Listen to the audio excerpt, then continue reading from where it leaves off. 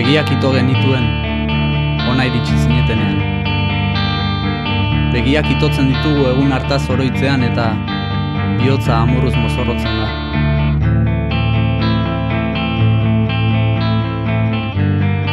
Hala ere hitzen lagun izan nahi genuen, naiz eta zuek haiekin jolastea debekatu, baitu eta torturatu.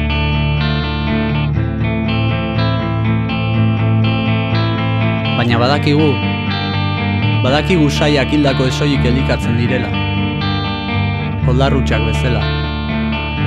Bizirik gaudela erakustea ez dugu beste aukerari. Eta gaur, euriari erruki dadia eskatzen diogu. Ez ditzan malkoak berekin eraman. Ez daitezen oroitzapenak anztura bihurtu. Ez diezazu egun inoiz barkatu.